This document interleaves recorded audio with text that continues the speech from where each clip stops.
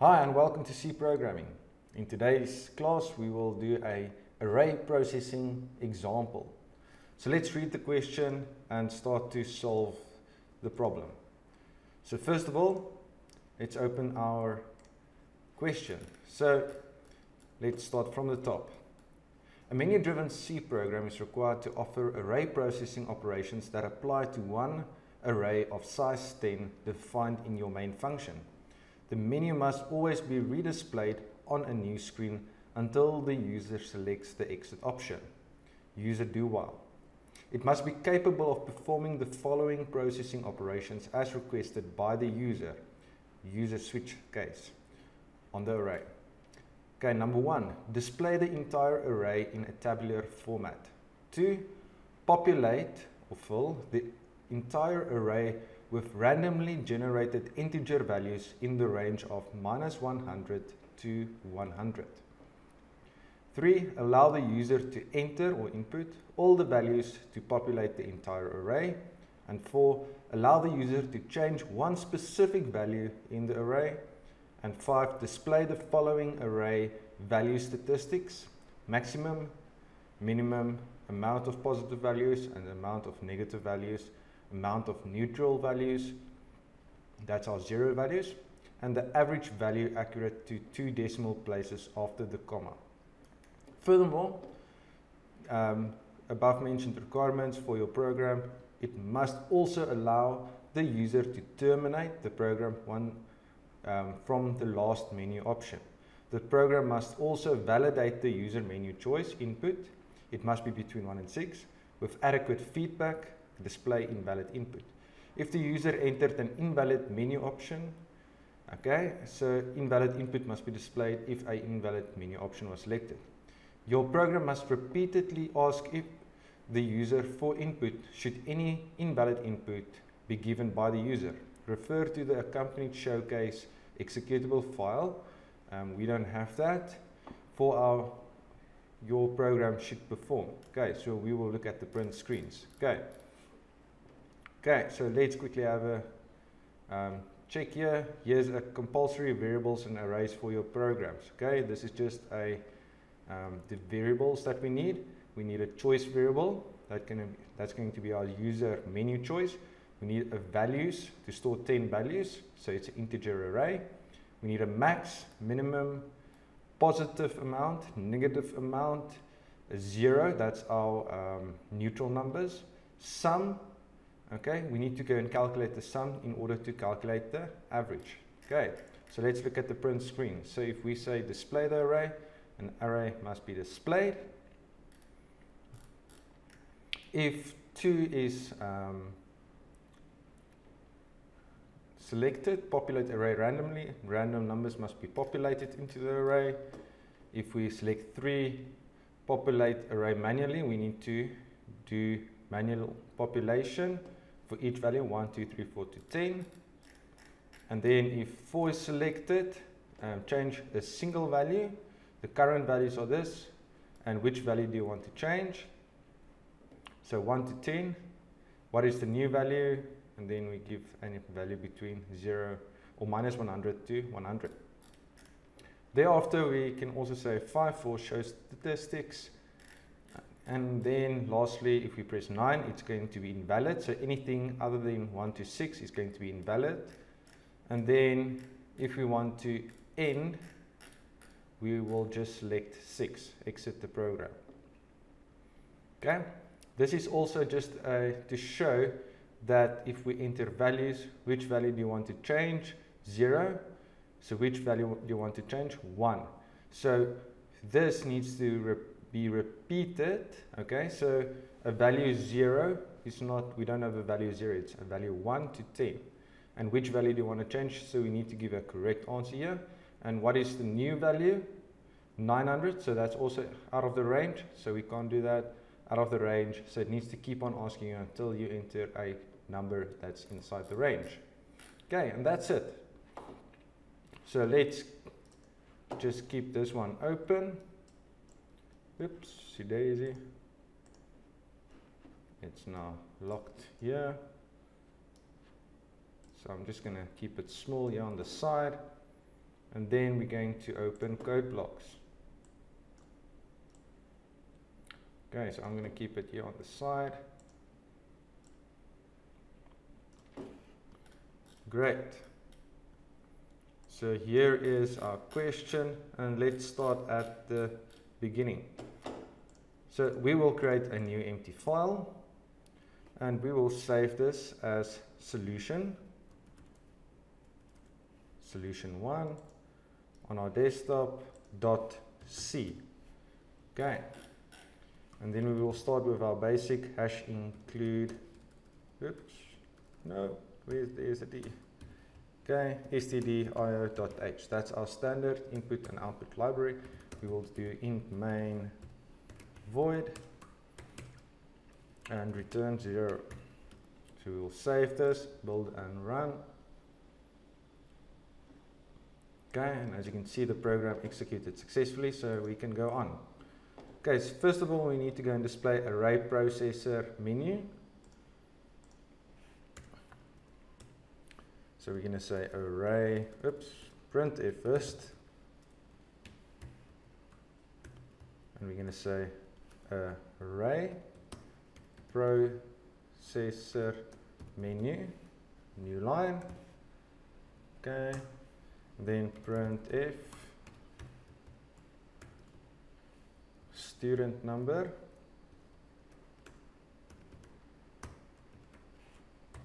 Okay and our student number is going to be 1234 and then we're going to do another printf and we just need to add two new lines there one two and then we're going to say our menu So I'm going to be 1, 2, 3, 4, 5, 6. 1, 2, 4, 5, 6. So number one, we're going to say display array, new line. Next up, we're going to say populate array randomly. Oops, daisy. New line. three, it's going to be populate array manually. New line. If you can't see there, let's quickly zoom just in. Next up, four, we will say change single array value Then 5, we're going to say show array statistics. Okay, and it's going to be maxmin. I'm not going to do that. 6 exit program. Okay, so new lines for each of them. And there's going to be a double new line at the end here. And then we're going to say our choice. Okay, so if we quickly zoom out, what we will have is our main function and just the basic displays. So we will start to now do everything. So let's quickly check printf. Uh,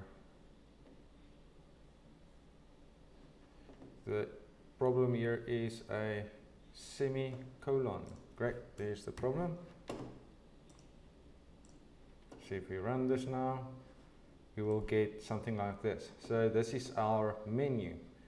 So what we can see from this example is this menu needs to be repeated um, if the user makes a selection. So if we go back to the question and we quickly zoom in here, what you will see is, um, if we click a little bit up here, select exit option, the menu must always be redisplayed, redisplayed on a new screen until the user selects the exit option. So it says here user do while. So what this will mean is we're going to repeat this function until the user selects 6. So this or this display, we're going to repeat this display unit until the user selects 6.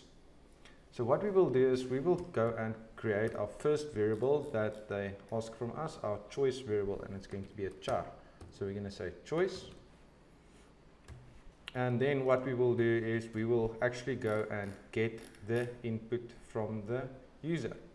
And so we will say choice is equal to get and we will just go and print out that input value as well.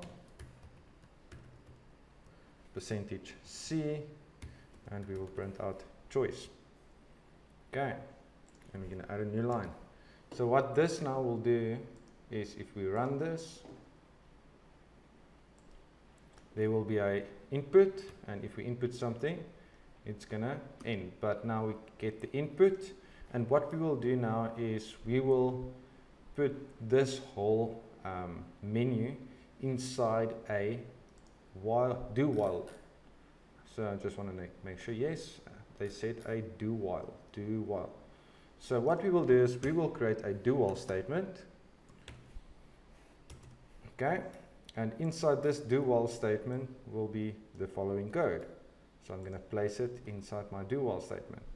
And now remember to do your indentation. So one tab space. And then my while statement at the end, I'm going to say while the choice, okay, while the choice is unequal to the 6. Okay, so let's quickly see what this will do to our program now. So if we build and run, Okay, it's just taking a little bit of a while on my side. There it is. So we're going to say 1, it's going to read display 2. Okay, let's drag a bigger 3, 4, and so forth. Okay, but the question also said on a new screen until the user selects the exit option. So each time a selection was completed, we need to go and clean our um, display. And how we do this is quite simple. We can use this following statement, system. Okay, and inside this function, we can just say CLS. And this will clear the screen for us. Okay. And then if we press 1, it's going to clean, clean, clean, clean, clean. So you can see there's something happening, but it's not um, stopping. Okay, so what we can do is we can add another getch at the end here. And what this getch will do, it's going to stop the program for input until we are um, ready to go to the new screen. So now what you will see is, oops, let's keep it this size. And I'm going to say one it's going to wait. And then I can press any button. Then it's going to ask me again two and it's going to wait. Three and I press spacebar so what we can do is we can then stop the um, while loop for a at this point here so that the user can actually see what's going on okay so back to our question. So we've got choice and we use choice now to do our um, selection of 1, 2, 3, 4, 5, 6 and then the question said use a switch case um, on the array. Oh, not on the array, sorry. Um, it must be capable of performing the following processing operations as requested by the user.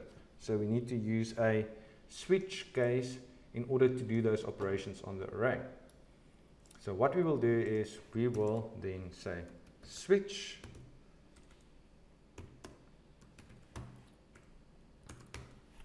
and we're going to use the choice variable as our switch.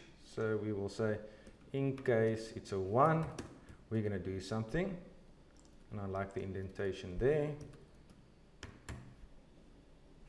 Okay, And then what I'm going to do is I'm going to copy and paste this a few times. Oops, daisy.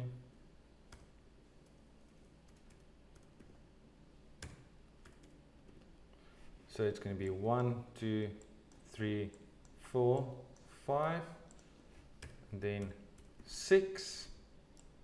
But then we also need a invalid entry, default.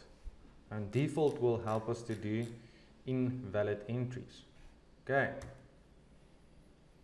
Then we can add a break statement for the default as well. We quickly need to do one thing as well. Choice is a character. So we can't say one, two. So we need to say one like this. And two and three as well. Okay, so I'm just going to back up this spacing there. Okay, so in case it's a one character, we do the following, etc, etc, etc. Okay, and that's it. So our switch case will then determine what's the choice the, the user actually made. And if it's a, um, if the user made the choice 6, um, we can just say maybe uh, uh, just for now, just to see that there's actually feedback. And then what we can do is we can go and run our program, we can select one, it's not going to do anything, two, not going to do anything, three, four, five, six, bye-bye, and the program ends. Okay, so now we've got our switch case that will do our, um, this, or make the decision between the operations that we need to do, one, two, three, four, or five. Okay. So the first one is display the entire array in a tabular format. So let's go back to our variables. We need to create an integer array called values. So let's go and create that integer array. So we say int values and this array is going to be 10 big and I'm going to initialize the whole array to 0. Okay, and we need to initialize everything to 0 just in the beginning because the array, the array will be displayed. If the user selects 1 the first time, he can't display nothing. So there's going to be just zeros now inside that array. So how do we display the array? So let's go to our selection 1. And we display an array by using a loop structure. And we're going to use a for loop to do this. Now for loops are counter-controlled repetition and part of those four rules of counter-controlled repetition, we need to have a counter variable. We need to initialize that counter variable. We need to have a condition and we need to increment. Okay, so let's quickly go and create that counter variable. So int i. Okay, so we have a counter variable. We're going to do our for loop and we're going to initialize our counter variable our counter variable is going to be smaller than and the size is 10 so we're going to start at 0 for the first index and then smaller than 10 and then i increment. Okay and then we're going to display the array. So it's only going to display this for loop so we don't have to have curly brackets. It's going to be one line of code. And what we're going to do is we can say percentage d tab space Okay, so in a nice manner, we're going to space everything out and we're going to say values. Okay, and we're going to say i inside values so that we can go through each of the elements. So i will be first 0, so we're going to display values index 0, then 1, then 2, until we get to 9. Okay, so then we break and we're done. Oops, save. So let's quickly run this. Okay, there's one small mistake. Okay, error expected statement before. Just want to quickly check. Oh, there's one extra bracket there. See if we run this now. We've got our program here and we're going to display and there's all the values. Okay, So it's 0, 0, 0, 0, 0. Okay, so the array is empty.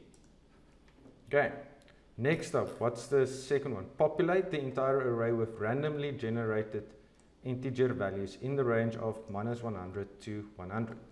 Okay, and how do we do that? So it's also quite easy. What we need to go and do is we need to go and um, include a library called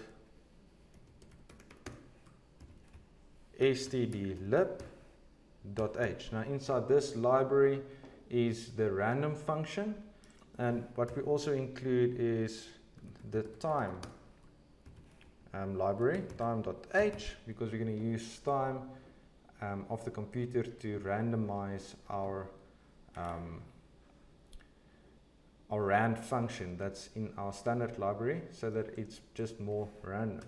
So if you don't know how and why we do this, go and look at the video with random numbers. So what we're going to do is in the beginning, we're going to call the randomize function and we're going to use time and the parameter is null to randomize the time um, the rand function. Okay, so this is not generating a random number for us, it's only randomizing the rand function. Okay, and then what we will do is when we go to um, the second case, case it's a 2, what we're going to do is I'm going to display first and we're going to say generated values. Okay. Generated values. And then after this what we will do is we will use a for loop and this for loop is going to be the same as the previous one smaller than 10 oh, we can take away that spacing. And now I'm going to have brackets because what I'm going to do is I'm going to display. Okay I'm going to display. But before I display, I'm going to generate a random value for each of the values in the array. And how we will do this is by using the rand function. And we're going to say rand. And then random values between minus 100 and 100. So in total, it is 201 values meaning from minus 100 to 100, it's going to be um, 201 values if minus 100 is included to 100. So what we will say is we're going to say um, 201. So mod 201 and then we're going to add or not add, we're going to subtract and we're going to subtract 100. So this will give us 201 values and then the values will start from minus 100. Okay. And that's how we will create um, values from minus 100 to 100. Now if you build and run this, let's see what happens. Is first of all we can display, there's nothing to display. Okay, then we can say 2, there's our randomly generated numbers. Oopsie daisy. Okay, and then if we display again, there it is again. So what we can do is um, after our display, we can add a new line if you would want to. Okay, but it's not necessary.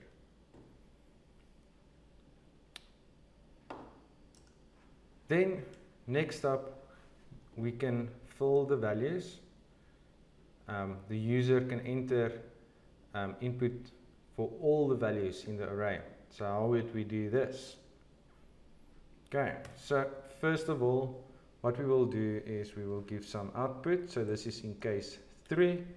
And what we will do is we will say print if, and we're going to tell the user, enter array values okay and enter values between minus 100 to 100 new line. Great stuff. Okay, so if we zoom out a bit, then what we will do is we will then say for loop and we're going to enter 10 values. So we're going to do another counter controlled repetition here, i plus plus and brackets. So what we will do now is we will tell the user printf printf enter value percentage d okay so enter the value and if you go and look at the output okay here you will see we will display enter value 1 so our for loop starts at 0 so what we will do is we will say i plus 1 okay and then we will get some values from the user and let's use a scanf statement with um, integers. And we will get the values. Okay. This variable there. It's our array. And we will say for i. So we will enter values for each of these. So we are not yet done with 3 I first want to quickly show you something so if we press 3 now it's going to ask us to enter values so let's say enter 1 2 um, 100 is fine, minus 100 is fine, but 150 is not allowed, but it's going on. So that's a problem and we need to go and check for that. We, we cannot have 150 inside our array. We need to check for that. And how we would do this is we will use a while loop. Now, how we will do this is I'm going to say a do while and what I'm going to say is while okay while the values okay the values of i is smaller than okay 1 minus 100. So while the values, okay, the array values i is smaller than minus 100 or, okay, and we're going to say or, the values i is bigger than 100. Now why do we do this? Now the reason is we're going to repeat this printf and scanf statement if the um, value that the user entered is outside the boundaries. And here with this, we're checking if it's outside the boundaries. If it's smaller than 100 or bigger than 100. Um, 100. So if it's smaller than minus 100 or bigger than 100, it's outside the boundaries and we will ask again. Okay, so this will keep on asking until the user actually enters a correct value. So let's quickly build and run. Okay, so we're going to say populate array manually. So 1 will be accepted, minus 100 will be accepted, 100 will be accepted, but 150 will not be accepted and the user will need to enter another answer. Minus 105 will not be accepted, 100 will be accepted, 5, 50, 90, minus 90, but 102 will not be accepted 1 and 2. Okay, so that's how we check for invalid inputs. Okay, so with that do while we will check then for the invalid inputs. Okay, so next up, let's quickly go up. Next up, we will have allow the user to change one specific value in the array. Okay, and that's actually also quite easy. Okay, I'm just going to zoom out a little bit here. The program is getting a little bit bigger. Okay. Next up, so the user will be able to input um, a specific value inside the array. So if we go down to our display, what we will do is we will display all the values in the array Okay, and how we do this is we can use this actual for loop here. Okay, this will print out all the values. But before we print out, we're going to say the current values are. So we're going to say print if, and we're going to say the current values. Okay, so we print out the current values. Okay, and then after this, we will have then the following. I'm going to add a new line there. And then what I will uh, double in. What I will do is now I will do this do while idea again. This idea here. So what I will do is I will copy this and it's going to do the exact same thing again, but not exactly. We're going to tweak it a little bit. So what we will do is we will say do, um, and then it's going to print if the following. Which value do you want to change? So we're going to ask which value to change. Okay, so the user needs to give a index now. Okay, so a index, we're not going to display anything. So the user will need to give an index there. And then by using our um, do while, we will actually get an index from the user.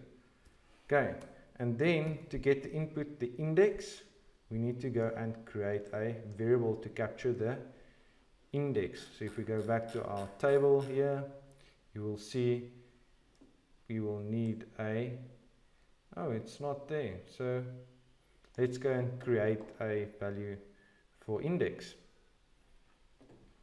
Okay. Just want to quickly check. Yes, we will create a, we need to have that variable. And then if you go down, we will then go and say store that inside index. Then when we have the appropriate index, okay, and the appropriate index will be if the value is smaller than 1 or bigger than 10. Okay, so our indexes will be 1 to 10.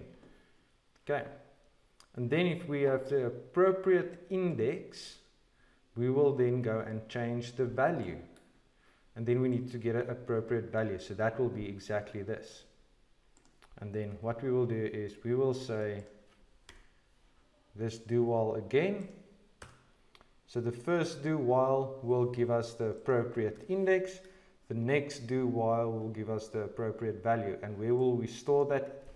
Inside index minus 1. Remember now, um, our indexes in our array starts from 0. And we're now asking 1 to 10.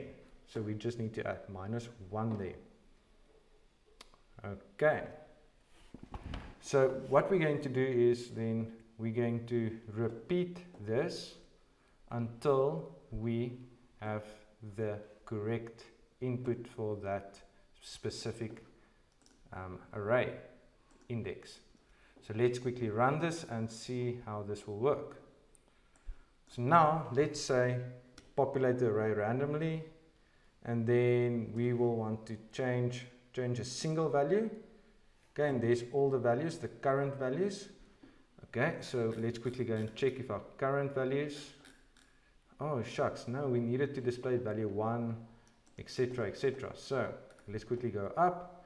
We need to say value percentage d and then the value. So we will display i plus 1 and then values. So we say i plus 1 because it's 0 plus 1 is 1 so the first value is 1 okay so let's quickly build and run. Oops no before we build and run we need to make it a new line. Okay.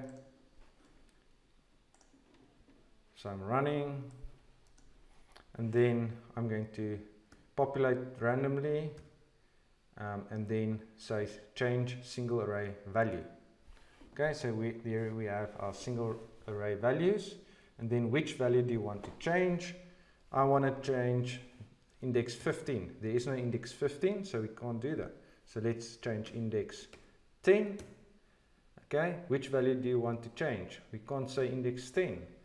Ah, so we've got a slight little problem here. Okay, so we want to change index 10.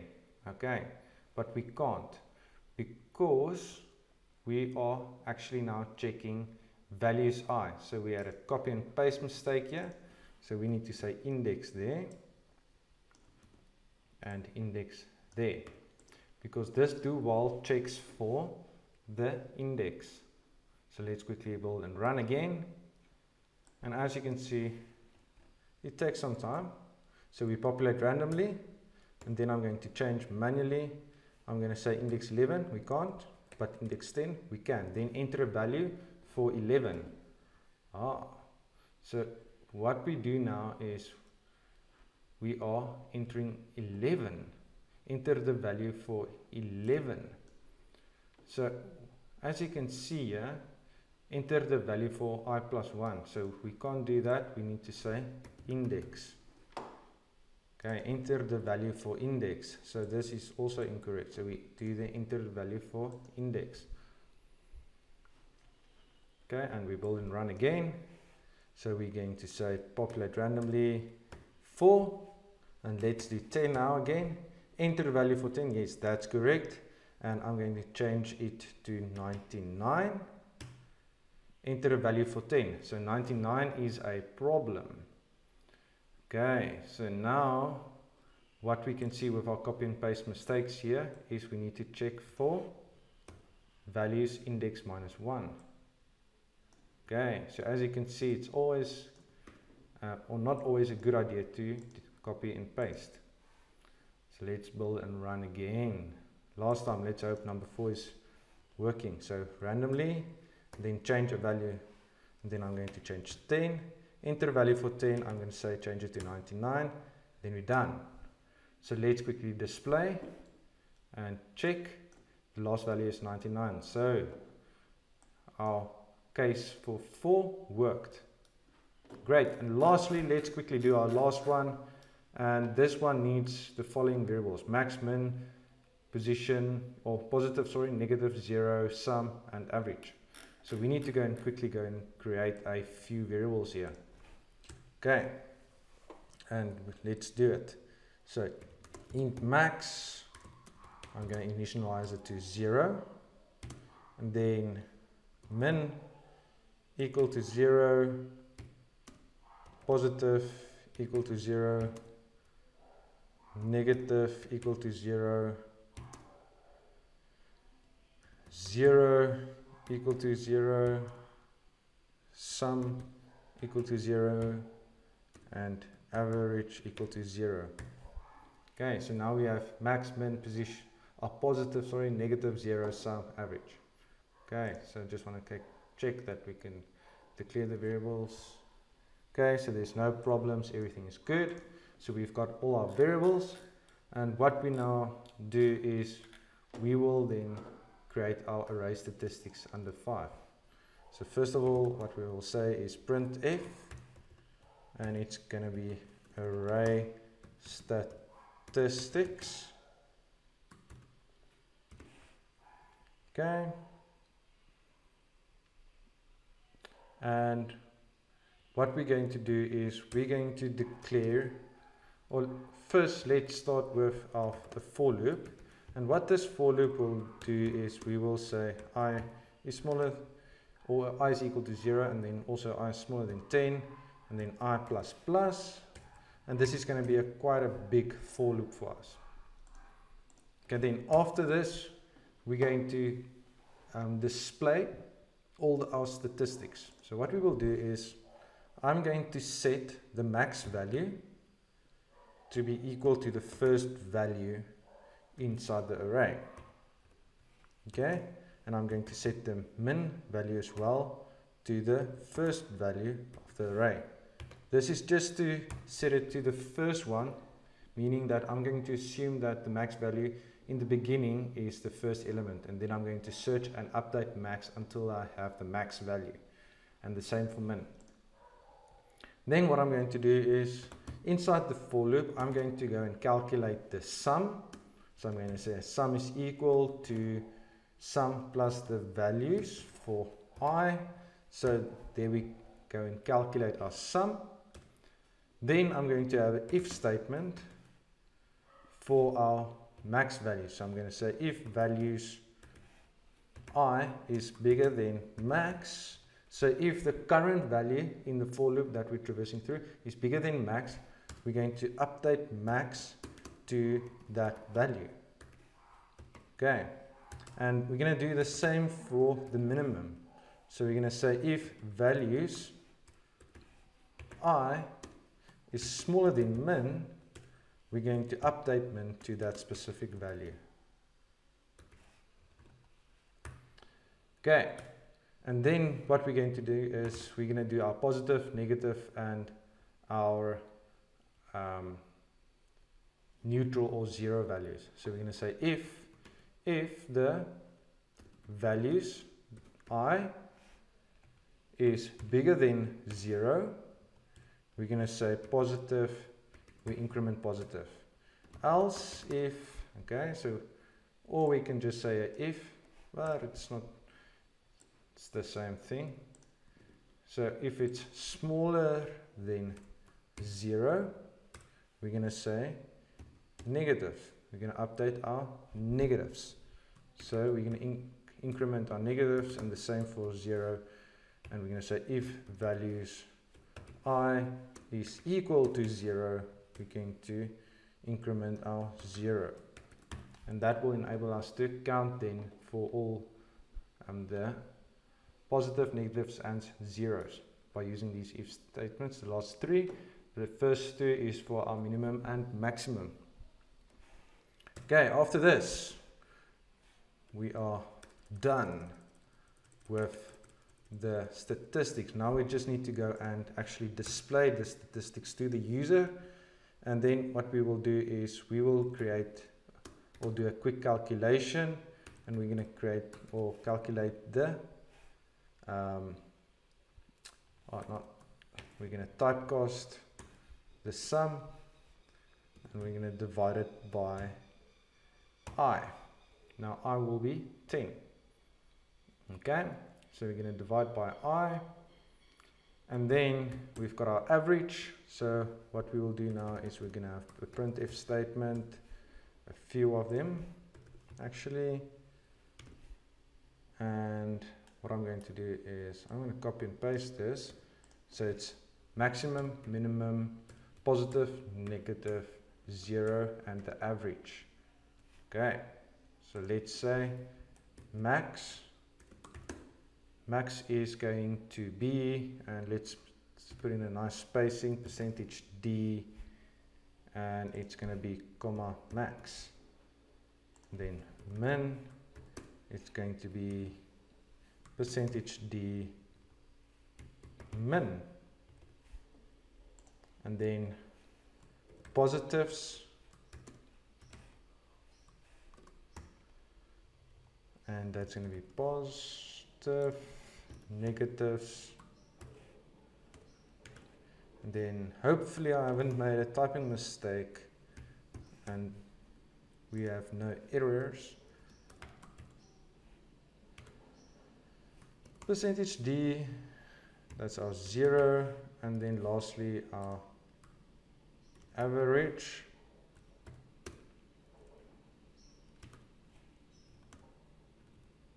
Percentage D and average okay and that's how we go and do all the statistics for this array so let's quickly check we've got an error here um, values undeclared first time use so it's the array is called values Okay.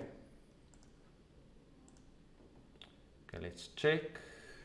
Can't see any errors. Okay, it's running. And let's populate array randomly. Okay, there's the array. It's populated randomly. Okay, let's make this a little bit bigger. And then let's do the statistics. Let's say 5. And the statistics was Um, 72 is the biggest, minus 92 is the smallest. So let's quickly go and double check. 72 the biggest, minus 92 the smallest. So let's print out. 92 is the smallest and 72 is the biggest. Yes, that's perfect. So our statistics again. Then 6 positive and 14 negative. Hmm. Okay, so why is that a problem? Okay, so there cannot be 20. So if if the positive values are 6, the negative values must be 4. So there's a small problem there. And 0 is 0. So 0 negative values. So let's quickly go and check. 1, 2, 3, 4, 5, 6, 7. So that's 7 negative values. So we know that our positive and negative is not working as it should. Okay, so what is the problem here? So let's quickly go and check. Um, and the actual solution is actually quite easy to see if you um, know what you're doing, but let's quickly see if we can systematically identify it. So what we do here is we determine the positive and we increment, increment, increment each time we find it. But where does it start? So in the beginning of the program, we initialize negative, um, zero, minimum and positive, all, the, all these statistic variables to zero. We initialize them to zero. But each time we go and calculate the um, array statistics, we need to initialize them again to zero. Otherwise, they're going to just start or keep on incrementing. So what we need to go and do is all these we need to go and initialize before we do our statistics again. So what I'm going to do is I'm going to do this all in one line. And now I'm going to save this. Let's quickly run our program again. And now let's see what's going on. So we're going to populate randomly. I'm going to make it bigger. Okay. And then I'm going to say display, there's it. Okay, let's quickly count how many um, positive numbers do we have. One, two, three, four, five. So five positive numbers and one, two, three, four, five negative numbers. So let's go and check if the statistics will do that for us. Five positive, five negative. Let's run it again. Five positive, five negative run it again. So you see, before we start to calculate the amount of positives and negatives, we initialize the positive and negatives to zero. Okay, so that's important. And the average is minus 3. So you can do the calculation and check if minus 3 is correct. And then if we want to press 9, 9 is invalid. So let's quickly go and check if it's default. And if it's at default, we need to say invalid input. Then quickly run it again. Let's check for invalid input. Invalid input. Invalid in oh, one is valid. Um, minus one eight is invalid. Okay so we cannot enter invalid input. Okay and that's it. If we're done we say bye bye and the program ends and that's it.